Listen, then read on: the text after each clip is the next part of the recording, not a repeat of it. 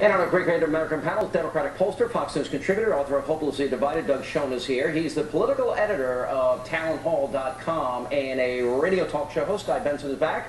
And she, Leeann Tweeden, the biggest fan of our military in the history of uh, Iran and Afghanistan. You now have the Leeann app. I do, Leeann Tweeden app, and people can Oh. write letters to our troops, and half of the money from the app actually goes back to help our wounded veterans and their families.